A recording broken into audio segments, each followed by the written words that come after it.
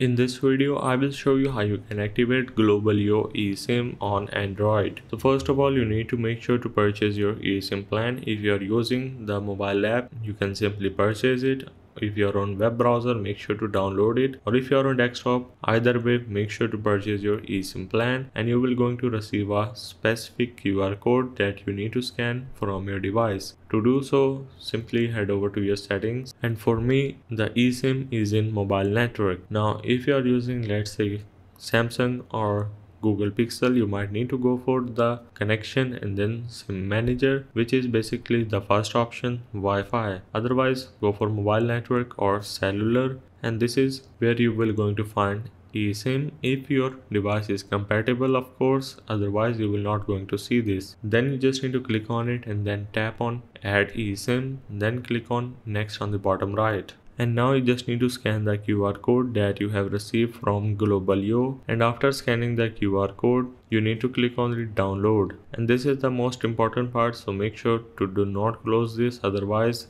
it is going to be disrupted and you need to do it again. So make sure to give it a time until it download completely. After downloading you just need to go back to eSIMs and then tap on the three dots and then click on enable. As I said if you are on Samsung or Google Pixel the options might be a little bit different like toggle on. So make sure to click on it to toggle it on and you are good to go. So this is the way of how you can activate Global YO eSIM on Android.